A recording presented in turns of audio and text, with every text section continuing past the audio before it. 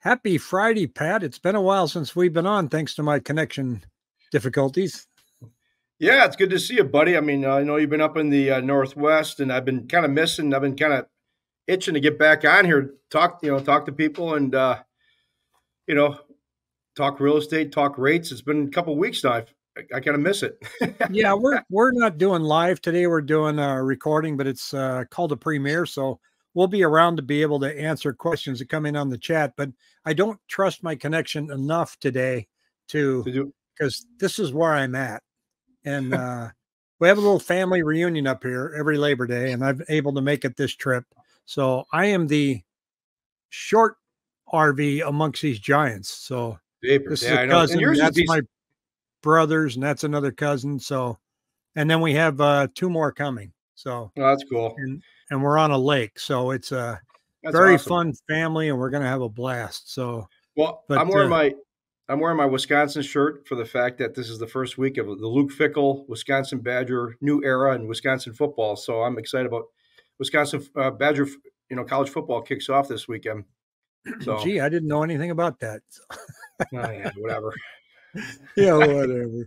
So we had a little bit to talk about because there've been some been some changes. I want to start with my handy dandy seven day moving average pad because I want to show this is May right here and we have oh i have to share it. So we haven't budged. The, the black line is number of homes under contract. Haven't budged an inch.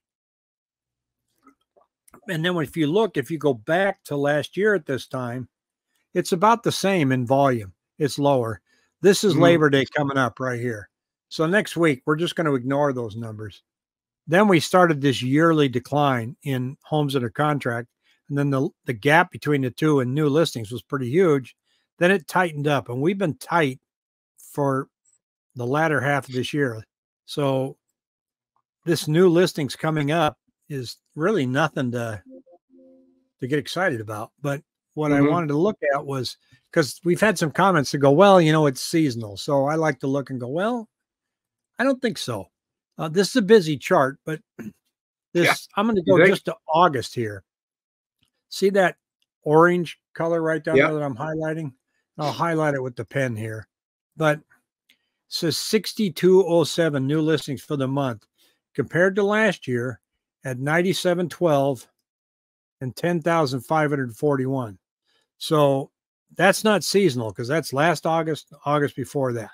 So um, it's definitely slower when it comes to homes under contract that at any time that we've had. But again, tooting the same old horn, the new listings are so low and availability so low that they're still they're still moving. We're still cranking off between 75 and 80 percent of the new listings on a weekly basis.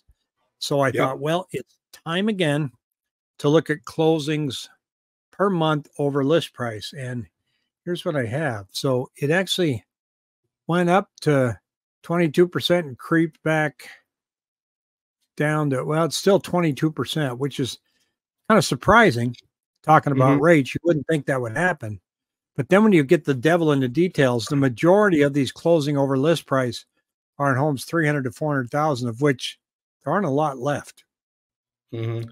So 28% of them are in that price category. Four to five is 23%. And then when you get down there, the average closing over list price is still only $5,000. So that just may be closing cost contributions that they're doing. Mm-hmm. They're offering $5,000 more for the property on a- average and asking them to deliver $10,000 for a rate buy down. That that could be what's going on. Um, yep. not sure, but it's not um, it's not going away. Now I took a look the other day at foreclosures, and that's the same number that we've seen all year. There's just nothing. There aren't yep. any. So it's it's slow, and I expect it to be exactly like this through October, November, and December. Only November, December slower, but I don't know how much slower than 2,500, 2,600 units a week we can get mm-hmm. outside of just the huge dips that we have at the holidays, right? I agree. but we're insanely in, interest rate sensitive, and that's what I want to look at with you today. Because I also don't see us getting a lot of relief on rates anywhere the entire year. And this article that came out this morning said, "Music to the Fed's ear: Analysts react to the jobs report." And uh, what did you see in the markets? Well, we got basically today we had kind of a muted day. I mean, right now we're down nine basis points on the five and a half percent five and a half percent coupon. The U.S. Treasury's up nine nine basis points to four eighteen. But you see that you see this chart. This is these are rates. I usually flip it around, you know, have, have prices, but these are rates. And this is from, you know, we had this run from May 11th to the topped out August 22nd. So May, June, July, August, you know, basically the last three and a half, four months, it's been this grind up. You know, we we have a rise in rates and then a little relief, and then we have you know we had, we based out here a little bit, and then we rose again, and we had a little relief. That's what I'm saying is you know if you have a a contract you know within 30 days, once in a while, that's that's why I try to take pride in locking people, not just your typical call center where they lock you for 30 days and they don't care because you know you see right here this uh, right this you might uh, let's see right I don't know if my mouse is coming up, but we had a spike and then we had a little re- reprieve. I mean, that's within January, let's see, June 28th to uh, July 17th. You know, you had three weeks there that, you know, the r- rates rose, but then they kind of came back down for about, you know, 10 days. So you, you, you know, the typical client might be able to save, you know, on a $400,000 home, you might be able to save a couple thousand dollars just by being smart about it sometimes within that 30 day period if you have to lock. But anyway, to get back to rates, though, I think we saw a top here, you know, a four, you know, 430, 4.36 in the 10 year. Now we're seeing a little you know, comeback. And the job report basically, job market's a lot slower than it it's really being presented. I mean, Barry basically said um, in his update, his morning update that I, you know, look, read up, you know, he said that Bureau latest labor statistics said there's 183,000 jobs created in August, which was better than the estimates of 170,000, but another month under 200,000. He said there's big revisions in the last previous two months. June was revised lower from 185,000 down to 105,000, while July was revised lower from 187,000 down to 157,000. So, I mean, basically, he said the total combined re- revision was about 110,000 jobs. And so, I mean, and he said he won't be surprised to see a downward, more downward revisions to these numbers that we've been seeing. And um, he said June was originally 209,000 and it's been cut in half. And he said July and August will probably be likely revised also. So, you know, the muted, there was a muted action on the market because I think, you know, the average trader is kind of starting to see this. You know, these job I don't follow the labor market that closely. I see that we came up to 3.8% and they were projecting 3.5. So the general feeling is, well, we're heading in the right direction. So therefore, maybe there won't be upward pressure on rates anymore. They're looking more at the trend than the actual mm-hmm. number. Yeah. 3.8 is still incredibly low. And what kills me is that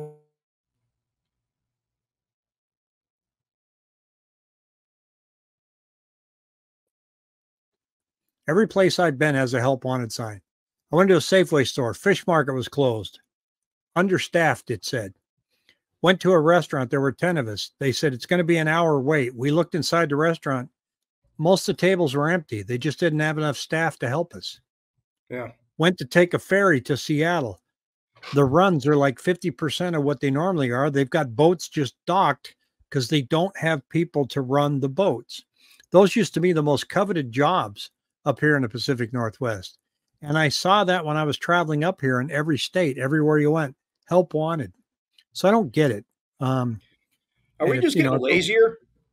I think so. I, I I think I think the age group that normally fills these jobs just doesn't want to, and I don't know where they're getting the money, um, or if they're just staying home. But um, you know, the people that normally work at the grocery stores or the restaurants. I mean, you know, when I was growing up, a grocery store job was really good. Oh, a, yeah. You were, oh, yeah. I mean, you were inside. I, I had buddies of mine that had grow job grow same way. You know, I had a couple of buddies of mine working at grocery stores. Like, dude, I wish we could get a job there. You know, because I was on the golf course working for like uh, the minimum wage was like two dollars and sixty five cents back back then. You know, when I started, when I was about 11 and a half, 12 years old, and you know, I worked the maintenance crew out, out on the golf course. But uh, my buddy was working at a grocery store. He's bagging. He was having loving life. Yeah, I liked it. Um, like I say, it was inside. Your hours are flexible, um, but you know, right now you just don't see anybody filling the jobs. And and yep. every store I go into has a help help wanted sign. There's there's posters everywhere all over town, and and I see that everywhere I go. And then then you'll see somebody standing on the corner, you know, asking for money. A guy, well, go to Home Depot. They're right down the street. yeah, yeah. But, but I so I I'm looking at.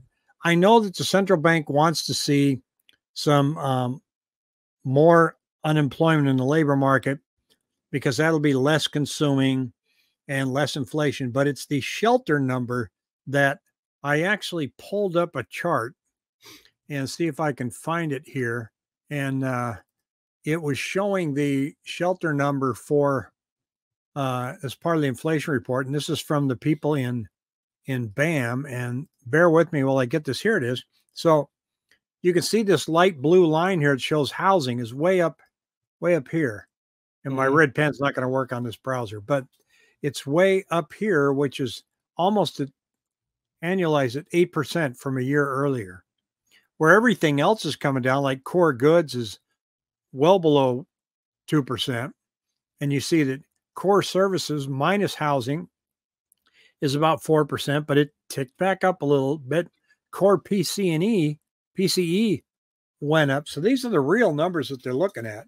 And housing is a big driver of that. And that should be kind of a warning sign if you're expecting rates to come down, because I just don't see rates coming down as long as this number remains up there at almost 8% versus last year. Well, but yeah, Barry is, but Barry Habib is saying that the Feds are still looking at uh, older numbers on the on the housing, and that they are they are starting. You know, you see that break in the chart.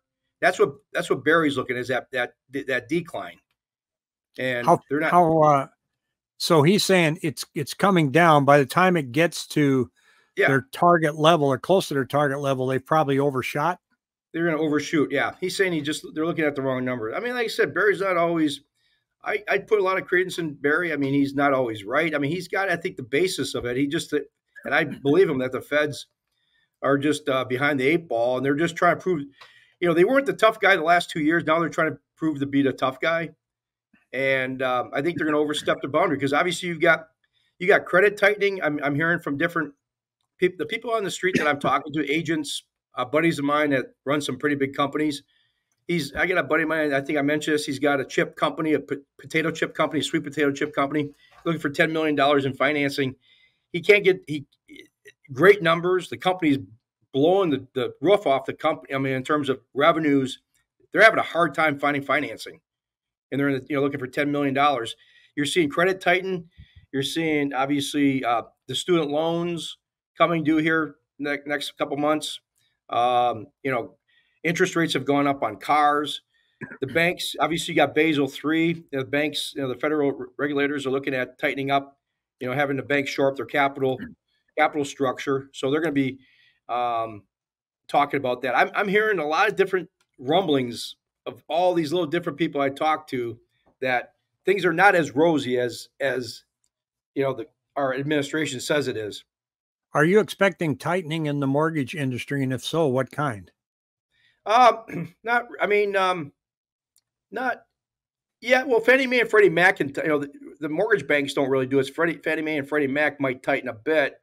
Uh, you know, they might when they tighten, they typically you know run for desktop underwriting. When I run a program, they might let a, a file go at you know 47% debt to income ratio, but then this, maybe a, a, week later or two weeks later, run the same file just before closing, and all of a sudden it's like, nope, not accepted. It's like, what? Nothing changed. So they can run yeah. the different algorithms month to month. They change, you know that.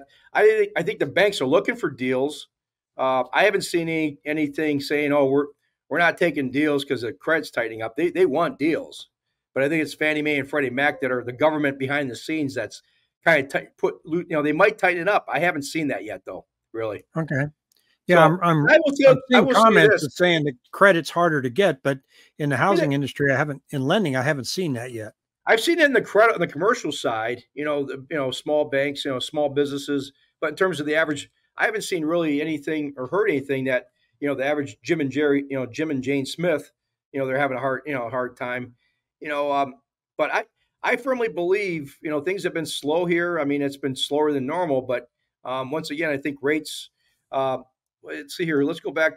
Speaking of rates, let's pop this up real quick. Pop up my screen. Yeah, you'll have to share it. Oh, I didn't. Oh, really? Oh, cripes. Okay, hold on. My bad. I, I, because I got kicked off probably. Yep. Um. Okay. There we go. So, I mean, right now, um, I'm seeing right now. I mean, uh, for five percent down, 400 four hundred seventy five thousand dollar purchase, five percent down, loan amount of four fifty one. I mean, we were the last couple days we've seen some relief because we were sitting at six seven point six two five was a kind of a cost of a thousand dollars or so. Now it's a credit of twenty four hundred dollars. So rates have kind of we're sitting around seven and a half, seven and five eighths. They kind of floated down to about the seven and a quarter, seven and eight, seven and a quarter range the last you know week or so.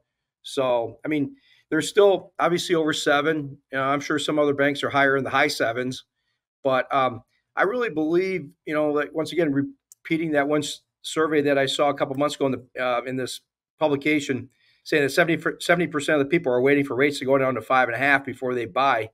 I just once again I think right now is the buy low sell strategy, buy low sell high because nobody's really out there looking. If rates get do get down, you know we saw this in April May when they start going down. You get those bidding wars, and it's just gonna it's gonna offset. You get any, any type of bidding war, it's gonna offset what you've been waiting for on the interest rates. Yeah, but you know, that's uh, that that's the opposite thinking in my head. Though goes, but the Fed knows that. I mean, they know if it gets back down there, are the so they're going to see the inflation number on housing come down eventually. Well, if they lower it, and they're not just looking at housing when it comes to the overnight rate for, for yeah. the central bank, but but but they know that that's going to reignite housing. So, mm. you know, that's just one of the things they got to watch. That's that's the little thing in the back of my brain that goes, ah, that's going to make them hold back. I don't know. I just, and I, I don't know what it's going to be. So I'm just going to watch it and we'll, we'll yeah. share it here. So I just, um, the feds are, I think they're just, uh, once again, not to be Debbie Downer, but, you know, I think they're focusing too much on trying to control housing. If they are, you know, that, that's not their, that's not their job. You know? Yeah, it's a. Uh, I wouldn't want their job because um, it's a, it's it uh but anyway. maybe the perks are nice. Who knows? Well, yeah. well, Pat, I'm gonna get uh, back with the family here and uh, get out there playing some cornhole. Uh, it's it's interesting. It's kind of windy up here right now, and fall is in the air. I'm seeing leaves starting to fall off the trees and turn color. So I know it's time to turn around and come back to Arizona. I saw that you had a really brutal storm there last night. Oh, terrible! So terrible. a lot of damage and stuff. So hopefully I don't run into those pulling a RV through any states. I don't want it to tip over. So yeah, no kidding. So, but thanks well, for joining me. I will see you. I'm going to be on Monday morning, and uh, beyond that, it's just one connection at a time. yep. All right. All right. See you, pal. See you, buddy. Mm, bye.